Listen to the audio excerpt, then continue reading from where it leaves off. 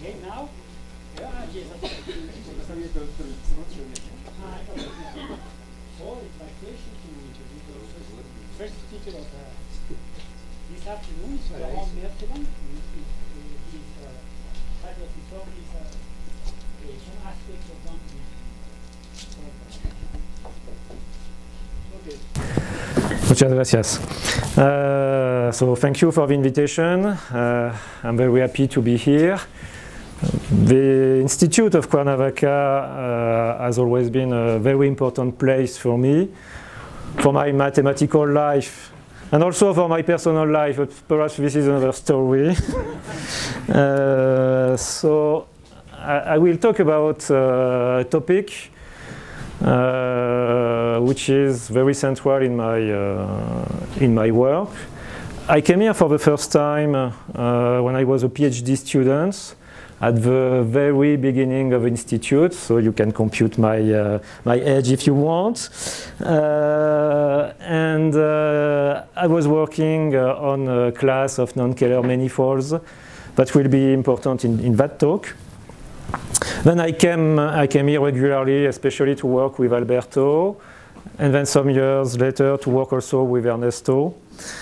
And uh, I want to, to explain you some uh, a circle of ideas which really uh, comes from here. I mean, uh, comes from my PhD thesis and, and other stuff, but which was ideas uh, what were really developed here in, in the institute.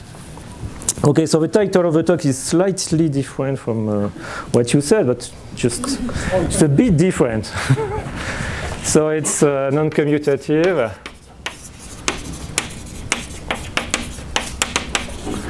Toric varieties as leaf spaces.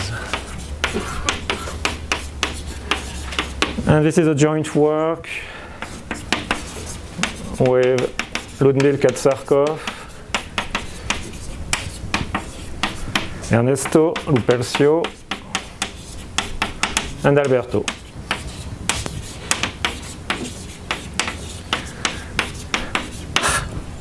Many names.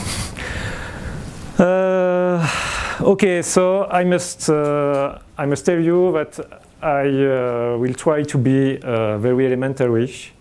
So uh, the price to pay is that I won't define anything. but I would like to, to give you, and I hope to give you a flavor of what we are uh, doing. So at the end, you will be able to, to tell me if, if it is okay or not. So let me start with a very classical examples where you can see non-commutative objects as leaf spaces. This is an historical uh, example. Is the example of uh, linear foliations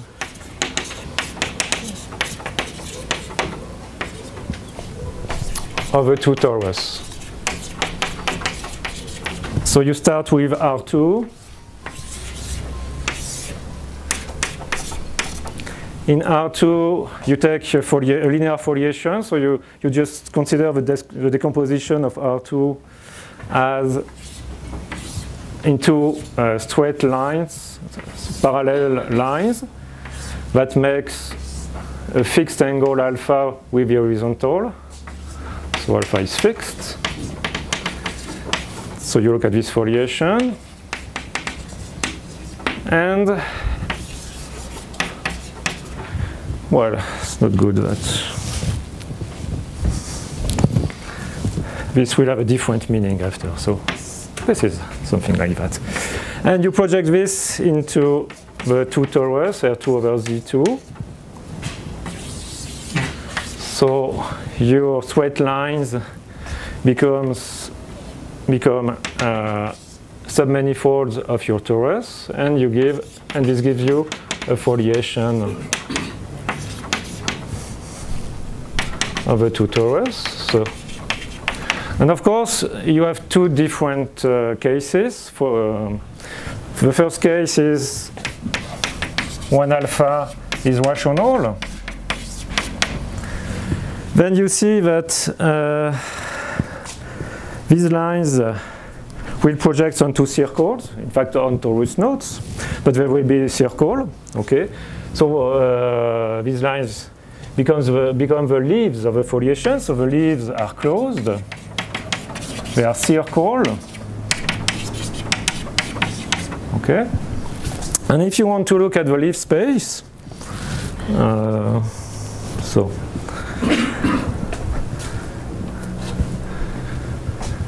if you take here a meridian, a circle like that,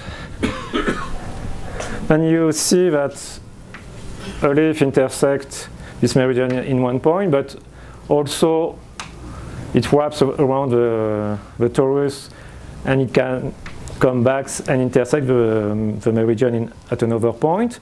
But in the rational case, uh, it's, it's only a, a, finite number of points, of course. So in that case, the leaf space can be identified with this M divided by, uh, in fact, by the action of, uh, of uh, rational rotation.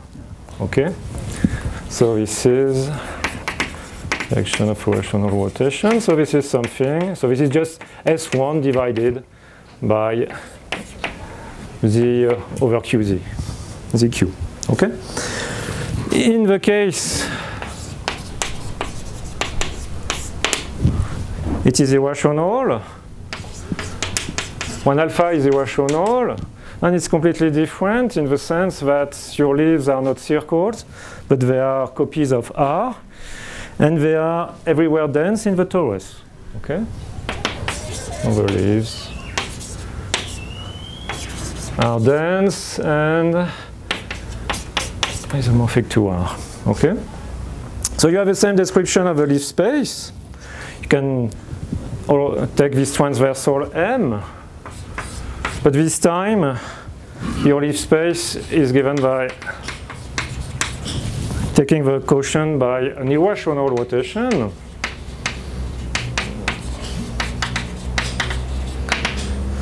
So of course, uh, from the classical point of view, this is a good space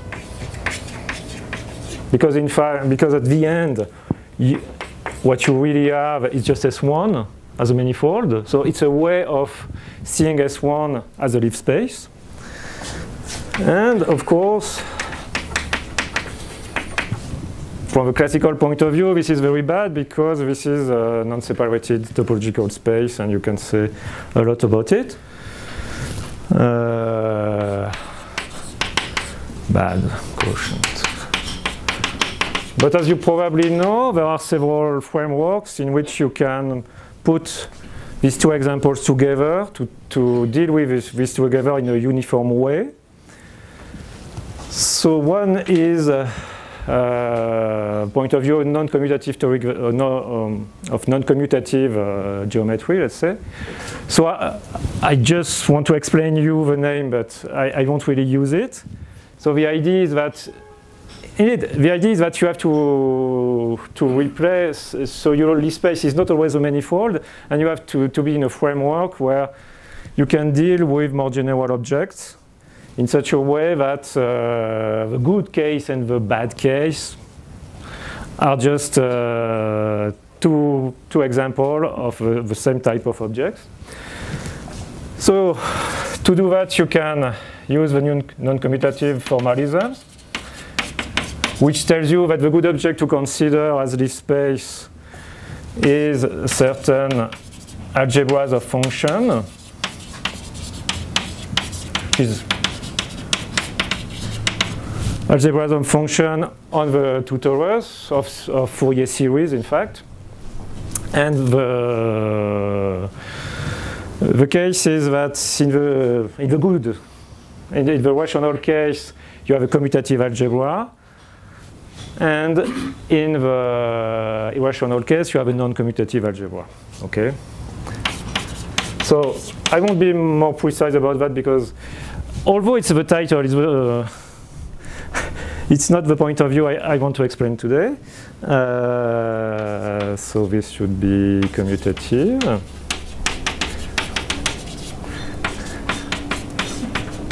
and this is non-commutative.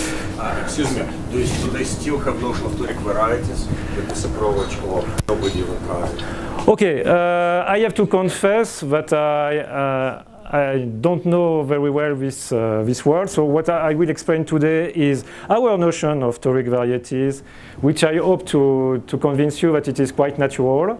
But uh, there are, it's possible that there exists lots of uh, different definitions, and um, I'm not an expert of that. Okay, uh, so this is the first point. Another point to, to, to deal with this type of quotient is to use stacks. So here, of course, I won't explain this, otherwise I won't do anything else. Uh, but the, the, the, more geometrical point of view we can have in this particular situation, uh, first, stacks. Here in the uh, non-commutative formalism, you deal with algebras. Here in the stack point of view, you deal with groupoids. And the most geometrical presentation is to, to look at what is called the holonomic groupoid.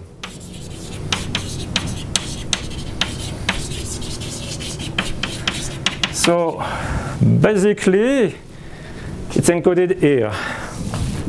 It's just another way of presenting this.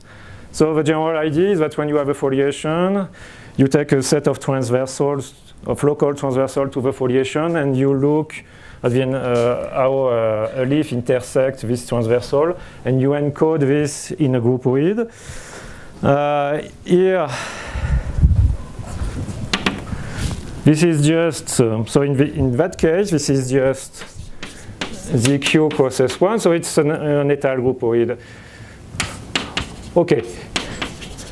Think just, uh, just give you a, a, way of coding this in the rational case. So you look at, in fact, at ZQ over S1 onto S1 with two maps. The first map is just the projection onto the first factor, so G and uh, Z goes to Z, and the second encode the action. So this is a groupoid. That means that you have uh, it's a category with. uh, whose morphism are invertible. So the, the objects here of your category are just the point of S1. And uh, the morphism are just when you see this is the source map and the target map. So this is you identify two points. If there is uh, an element of a group that relates uh, the two points. So of course you can do exactly the same thing in the irrational case. Uh, and then you just have uh, the action.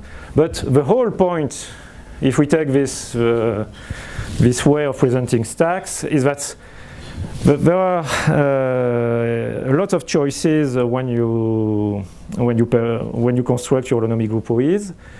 So the, the, most important point is that uh, every group every every holonomic groupoid you, you construct from the foliation, they are all equivalent for a certain uh, equivalence relation, which is Morita equivalence relation. So the good way of seeing a stack is just to say that this is an equivalence class.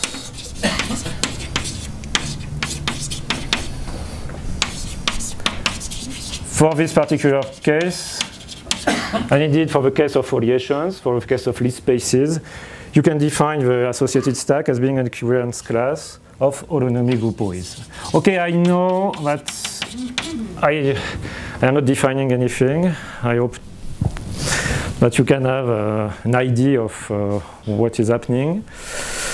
Uh, but what you must have in mind is that when you define this object at the end, you forget about the foliation.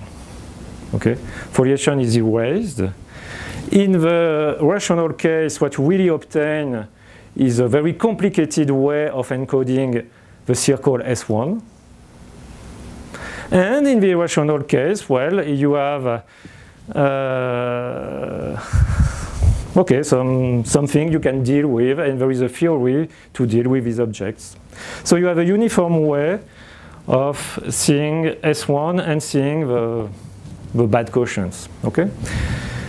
And perhaps another word about that, what is important is that in this construction, even in, the, in this case, what you have is a smooth object. This is encoded in the fact that here, this is a smooth manifold, this is a smooth manifold, and these are smooth uh, maps. Okay?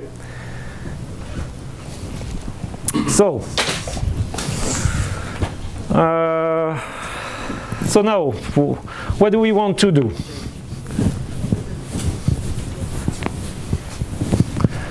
What do we want to do? We want to do more or less the same thing, but for not for the not for the circle, not for the torus, but for the for the algebraic torus.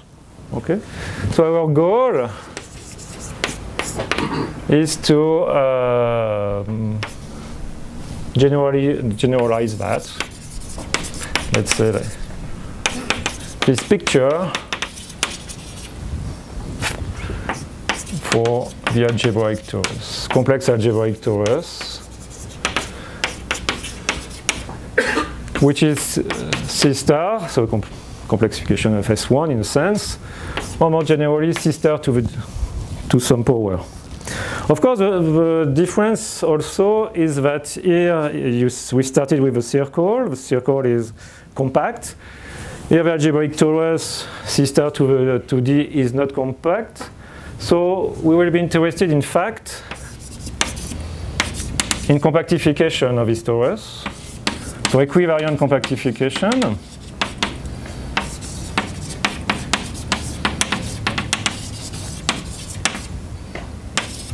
So I will denote this by TD, let's say, of TD. And this is almost the definition of a compact toric variety. So I mean an algebraic variety on which TD acts with a dense and Zariski open uh, orbit. Okay, but the action of TD on X is on the whole of X. So of course, the basic example is to look at P1 as being a compactification of C star or more generally, the projective space, the complex projective space dimension D as being the compactification of C star to the D, and you have an action of C star to the D on PD. Okay. So we want to do the same type of uh, thing. What does that mean? Here, finally, another way of presenting all this is that I realize S1 as the Leaf space of a linear foliation. And then I get moduli. I get moduli because uh, my foliation, uh, foliation of the torus, I can change the slope. And if I change the slope, I pass from S1, classical manifold, to some non-commutative objects. Okay? So here, we want to do this.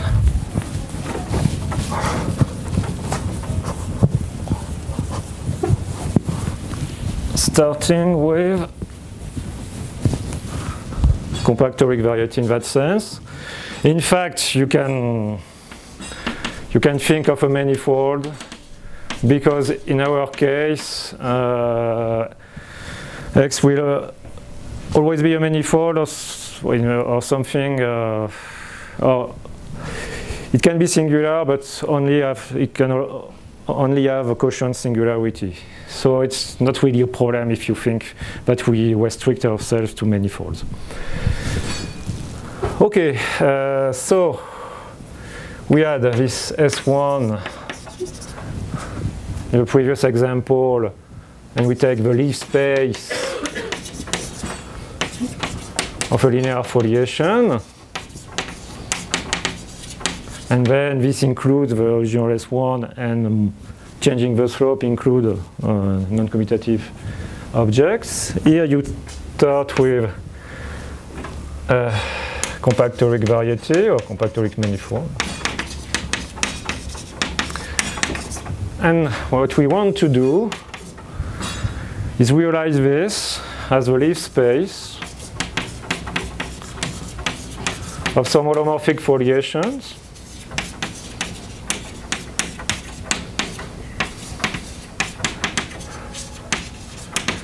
And of course, doing this by changing the, holomorphic foliation, we want to, to have both classical toric varieties and also non-commutative toric varieties. Okay?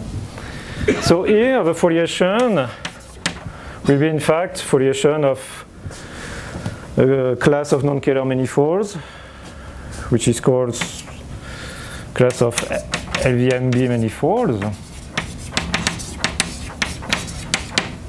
So let me explain a little more what is this.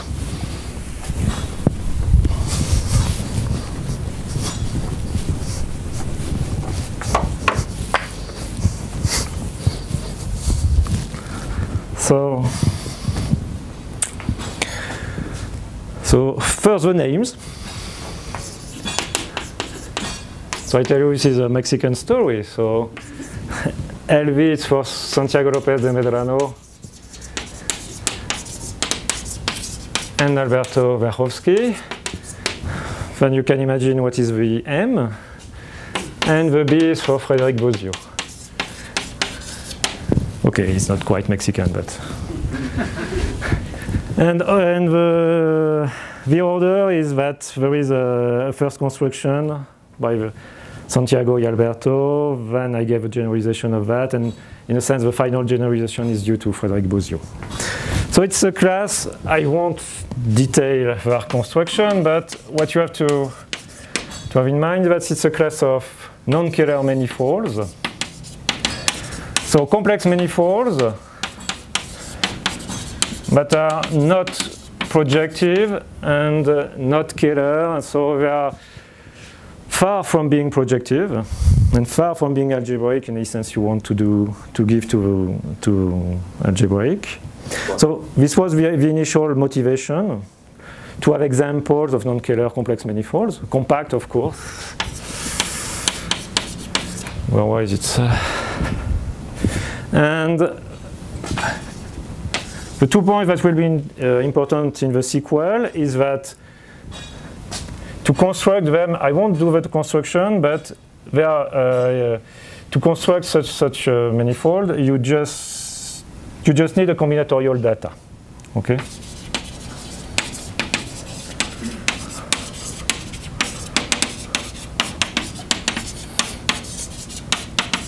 So you start with n and m two integers with n strictly greater than 2m. And you take some vectors in CM. You need n vectors like that, satisfying some combinatorial hypothesis, essentially hypothesis about the convex hull of these vectors.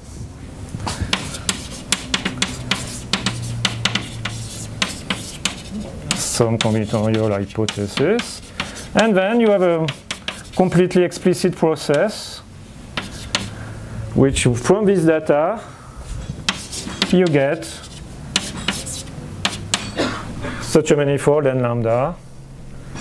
Uh, so LVMB manifold, let's say.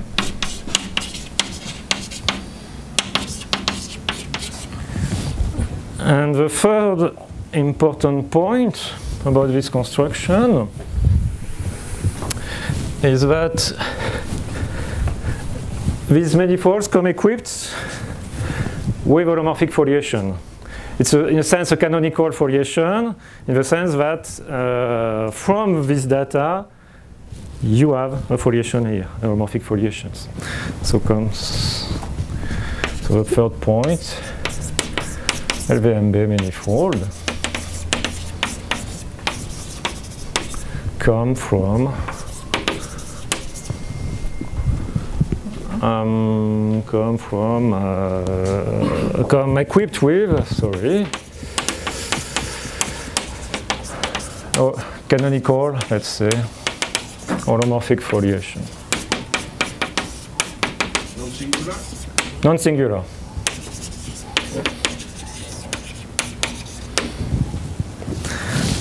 And now, this is exactly what happens here when I say that I start with a compact toric variety and I want to, to do something here. The leaf space will be exactly the leaf space of type n lambda over f lambda.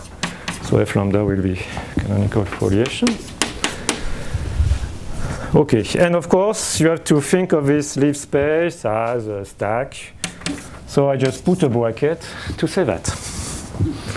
Okay, so this is the general picture. So let be let me be able, a bit more specific.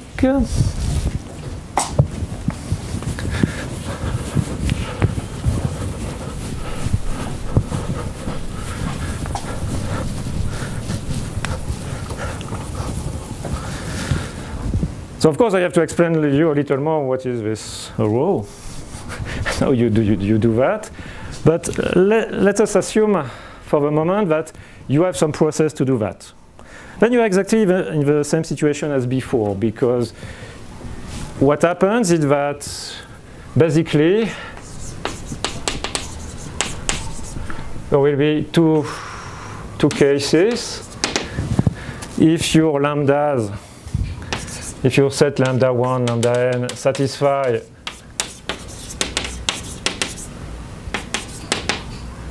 A rational condition, basically, if, you, if, uh, if this is vectors with rational coordinates, then you can prove that this quotient space is really a compact toric variety, a classical compact toric variety.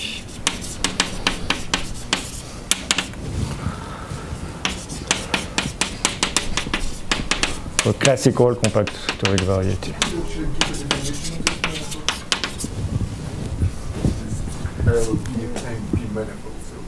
Sorry? Could you actually define this manifold L, G, and B? What is it? How it?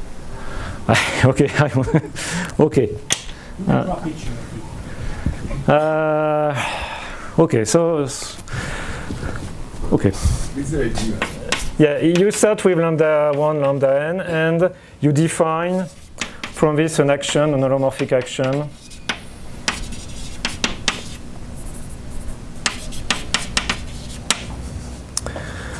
of Cm on 2Cn. So you can write it down. It's uh, just you take z. The action is just that t o, z is given by z1 exponential uh, lambda 1 t.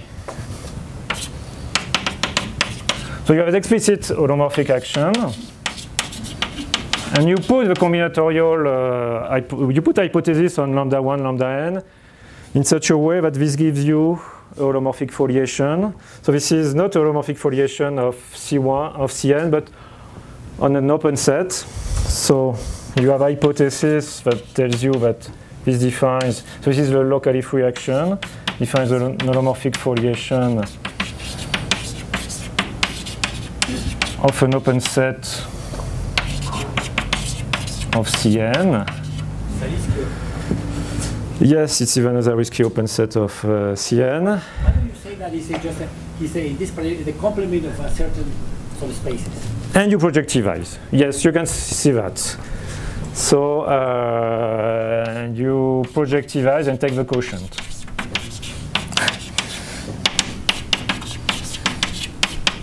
Okay. To have a, an idea, but this is really completely explicit. I mean. Okay. Um,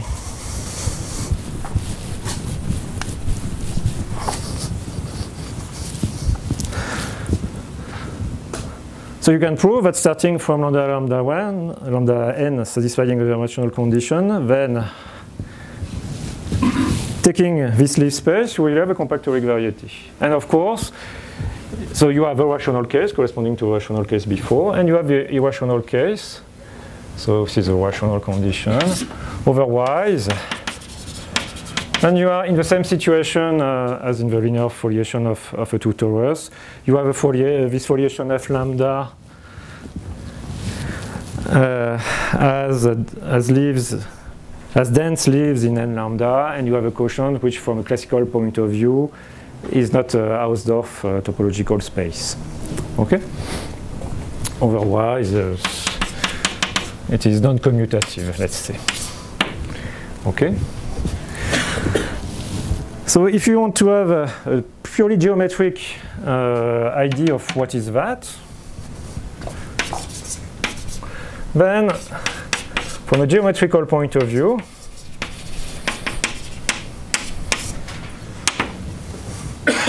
this is not so bad because uh, this is in fact uh, you can you can construct a, an atlas of, of this object which is modeled onto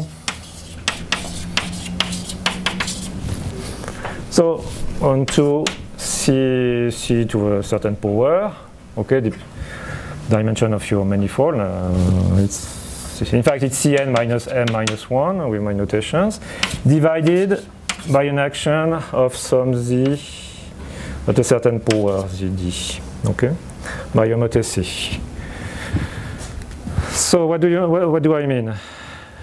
If you think of a manifold a manifold is is something which is modeled on 2 cn to some cn then you, you, probably know of an orbifold which is locally modeled on Cn divided by the quotient by the action of a finite group. Think of C divided by the action of uh, uh, the root of, of unity for a certain power. And here you have something which is worst because you have Cn minus m minus 1 divided. The, the most simple ex example is you think of uh, C divided by contracting homotopy. Acting by homotopy. Okay. So this is called, uh, sometimes, sometimes it is called quasi-fold. And this has been explored by uh, Elisa Prato e Fiammetta Battaglia. Si Battaglia? Battaglia, sì. And there was also a paper of Battaglia and Zaffran. But of course, the point here is that if you want to uh, to deal with this, this object just as something which has charred model onto that, you run into trouble. It's exactly the same type of trouble when you try to define uh, orbifold. Of course, you, you can define orbifold as something like Cn divided with local charts, uh, Cn divided by the action of finite group. But then when you try to define morphisms in a coherent way, there, there are lots of problems. And stacks allows you to give um, much more complicated at the beginning, uh, much more complicated definition at the beginning, but which gives you a, a more consistent theory in a sense. So yeah, it's exactly the same thing. This is the geometric picture you must have in mind, but if you really want to, to work with these objects, you have to, to consider them as stacks. Okay, so now I have still some time, that's better. So of course, I have cheated a little, well, a lot, not a little, a lot. I didn't explain you this. But if you know about toric varieties, you know that what is nice with toric varieties is that they, are they have also a combinatorial model. Everything is encoded in some combinatorial data.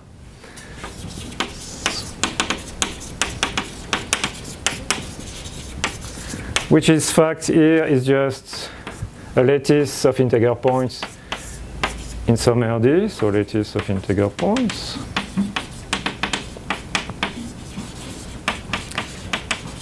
And what is called a fan,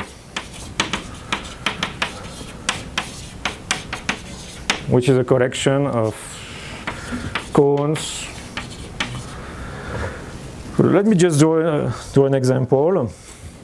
So For example, if this is equal to 2, you look at the lattice of integer points, and you look at collection of cones satisfying, of course, certain properties.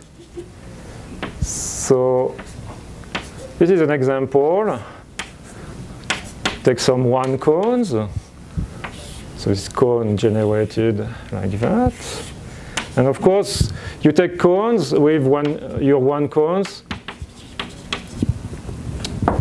are generated by uh, elements in the lattice. Okay, generated by vectors in gamma. This is a rational cone in a sense.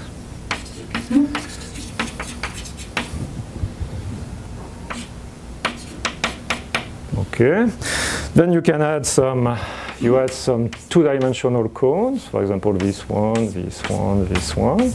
Here I have a fan with three one cones and three two cones. It's a complete fan because uh, uh, I have all R2. It's a complete fan.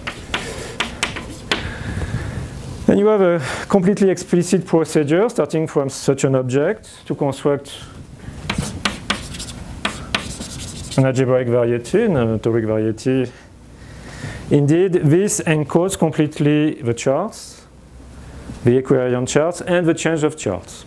Okay, so from this you can construct an atlas for a toric variety, which I will call X delta. And it is compact because my, my, fan is complete. And of course, the main point is that all the analytic, the equivariant analytic or algebraic property of E of a toric variety can be read on this side. For example, the fact that your variety is a manifold or uh, at worst uh, quotient singularities uh, can be translated here as saying that your that your cones are all simplicial cones, simplicial cones. Okay. The projectivity can be read uh, here also and everything. But now,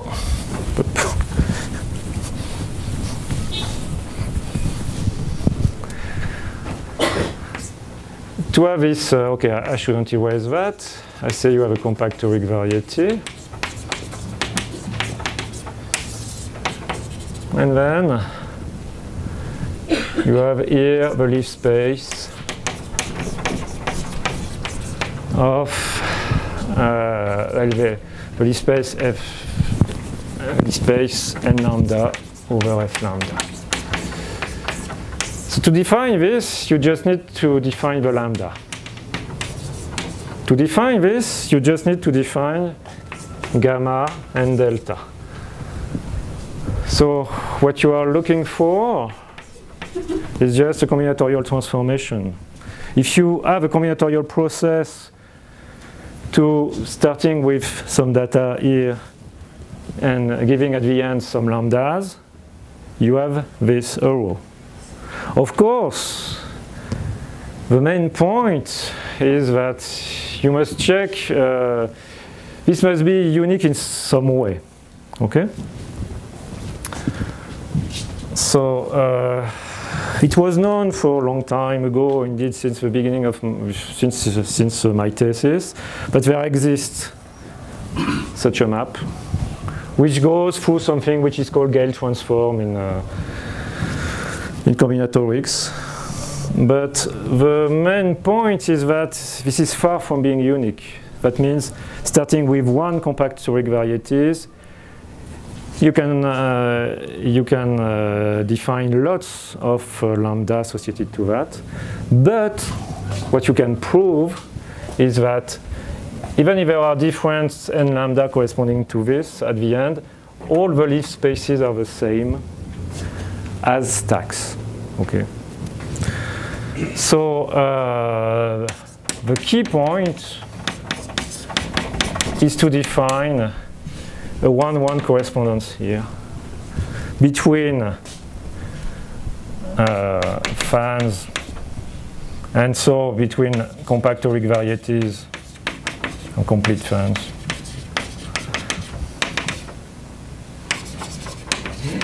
Up to equivalence and between lambdas, but indeed it won't it, it is not 1 1 onto the lambda, but it's 1 1 when you look at the leaf spaces. Okay? So this is the main technical thing, and I won't discuss that anymore. These objects have moduli? Yes, this is what I want to explain. so of course, if you, you think of what I was saying at the beginning, when you once you have uh, this, so you are in, in good situation.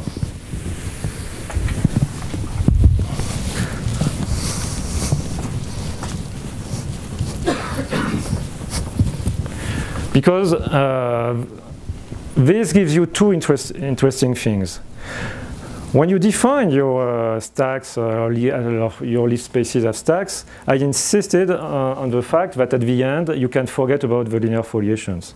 You just have something which is defined, uh, it's an equivalence class of a group blah blah blah, but uh, which does not encode, which forgets about the initial foliation. It's not so. Your initial foliation is just a model for constructing the stack, but you can forget it at the end. Here it's the same point, the same thing. When you have this correspondence in a clear way, what it tells you is at the end you can forget about LVM, LVMB manifolds.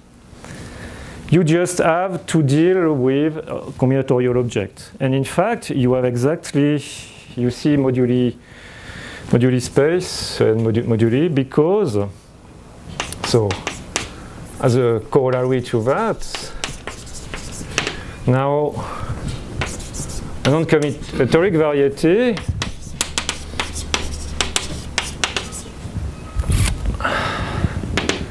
as we say, uh, classical toric varieties. So this is just encoded in gamma, which is the lattice, and you have a fan. And then you NC toric variety will be given exactly by the same data. You will have a fan. But the point here is that your uh, gamma will just be an additive subgroup of RD. It can be dense, so it can be irrational. Just just an additive uh, subgroup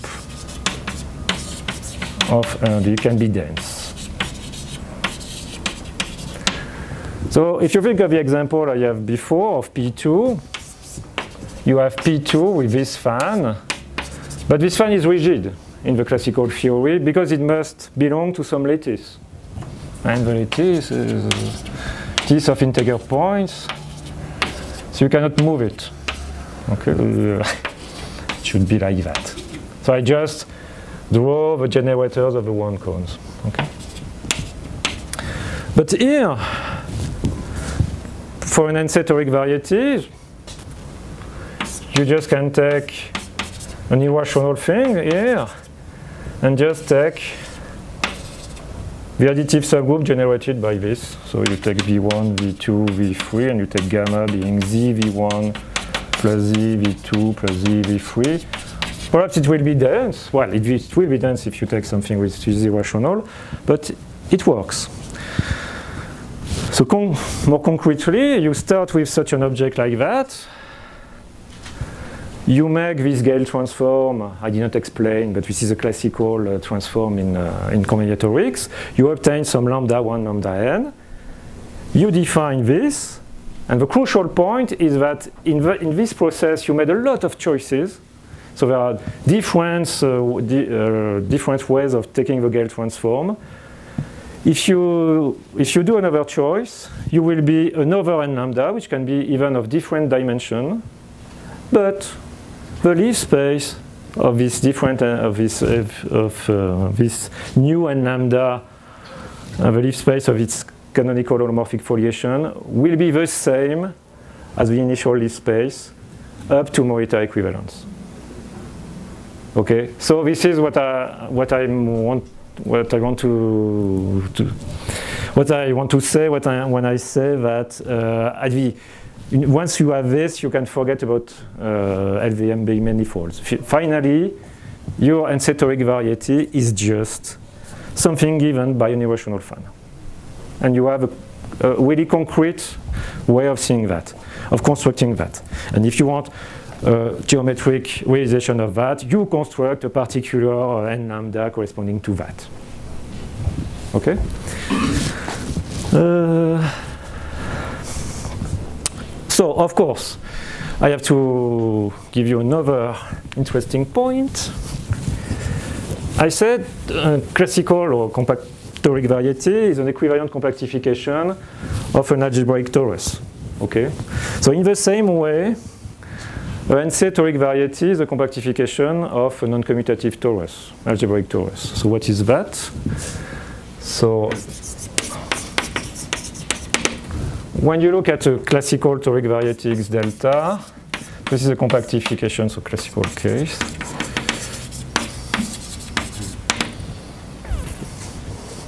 It's a compactification of C star. And C star, you can see C star, so I'm teaching a little, but you can see C star as being C divided, uh, well, C star 2VD, sorry, I am in dimension 1, but uh, you can see this as CD divided by your lattice of integer points. Let's say, right. Well, in the NC, uh, the non-commutative case, you will have this complicated n lambda over f lambda. But it will be a compactification of a non-commutative torus, which is just CD divided by gamma d, seen as a stack in some sense. Okay? So what you do when you move, when you move a, a fan into an irrational position, is that you not only you go into the, the non-commutative world, but you have something which is a compactification of a non-commutative object. Okay. So if I have, I'm not sure. Is it? Uh, Okay, or should, should I two minutes? Uh-huh. So okay? in particular, have a notion of compactification for stacks. Yes, yes, yes. The general stacks without assuming that they are coming from the. Yeah. Uh, just let me give you a concrete example of moduli, the moduli of P1, of P2. What does this mean?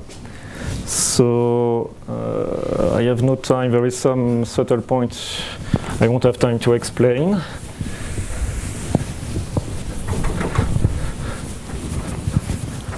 But basically, when you do this for P1 or P2, let's say P1. So P1 is correspond to a fan. You just have V1 and V2 like that. And when you, you make that, you have a moduli of non of P1, which will be C divided by some by some involution. So let me try to explain you. So, so you can do, of course, all the computations, but the idea is that you think of gamma as being ZV1 plus ZV2 plus, uh, so this plus a third one. So in the initial situation, you take V1 is equal to 1, V2 is equal to minus 1, this is P2, and V3 is just 0. Okay, and then you move. So it's easy to see that it's uh, independent. Uh, if uh, you can perform an affine transformation on the fan, it does not change anything. So V1, you can fix it to 1. And then when you move, you will move V2 and V3. Okay, and you move gamma, of course. And when you do that, you make the computation, the V2 and V3, you can see this in a natural way as C. Okay, so you have as moduli V2 and V3. And what's this involution? This involution is just given by the automorphism group of P1 as a toric variety. So it's just one uh, non-trivial automorphism, which is 1 over z, in fact, when you exchange 0 and infinity. And it does not give you, uh, uh, it is not an automorphism of the other points. So this gives you an, uh, an, uh, an, involution. And to really have uh, your moduli space, you have to, to take that, to take these quotients. So the, the point is that this is an orbifold. And in fact, it's a, it's a general fact. If you do all the construction starting from a compact, uh, uh, let's say projective toric variety, toric manifold, the toric variety which is a manifold, uh, and you do all this stuff, you will always end with a moduli space which is an orbifold in a natural way. Okay, so in this moduli space of P1, you have of course P1, which is the only manifold. You have weighted P1s, and you have P1s with uh, two, one or two singular points uh, of quasi-fold type. And all this is uh, mixed in that, uh, in that space. Okay, I think uh, I must finish here.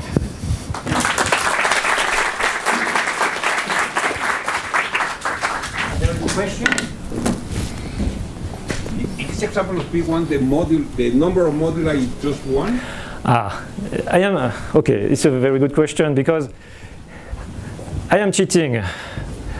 As you, as you can see, there is a subtle point here. I choose to represent gamma by three, genera well, three uh, generators, let's say, even if it's not the generator at the beginning. So this is completely arbitrary. I could have taken more or just take uh, two. But uh, this, the, the, the, philosophy is that if you want to have a good moduli space, you have to fix something more, which is given by the number of generators you take here. And this is like, you don't deform, in fact, P1 as a manifold, but you deform P1 with a fixed cohomology class, something like that. And you fix the complexity, which is in this number. So if you fix the, this complexity taking 3, you have C. But if I take, uh, it, must be uh, odd for uh, an odd number for some technical reason. But if I fix it to, to 5, I will have a, a moduli space which, is, which will be uh, C2, I guess, divided by an involution. Always divided by an involution which comes from the, this automorphism of, of P1. So there is a parameter you have to fix to have really the dimension of your moduli space. Okay? In the classical case, you can compute this modular number by quadratic differentials or also by this H1 of the yeah. tangent sheaf. Is there some procedure here to compute what the, the number of moduli? Uh, well, uh, something like you said, no, I, no, or at least I don't, I don't know how to do it. Of course, here you can do it by hands, uh, starting with the data of V1, but it's different. Okay, but perhaps, perhaps, but uh, this is not an easy question. I mean. Uh. Other question? No. Let's thank again the speaker. box at 520. No?